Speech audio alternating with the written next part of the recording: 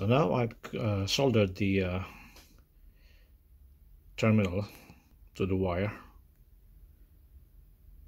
and added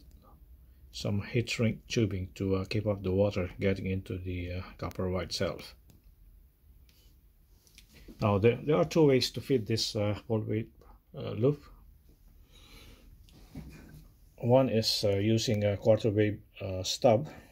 of 75 ohm coax but this will operate on a single band only or a, a monoband. Now with my setup I'll be using a 4 to 1 current balun to make it uh, operate on 40 meters and also on the uh, harmonics namely uh, 40 uh, 15 and 10 meters so next up would be to connect it to the balun and do the tuning